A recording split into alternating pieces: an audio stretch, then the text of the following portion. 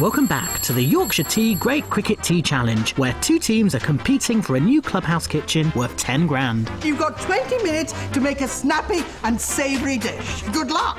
First dish we're going to cook is spicy lamb lollipops. Lamb lollies. Hope they don't melt. Come on, you've got to move fast. You can do this. Going to do a miniature Yorkshire pud and roast beef. I'm trying to sear the beef as quick as possible while we're waiting for our Yorkshires. Ten minutes left, team. Don't panic. I'm now having palpitations.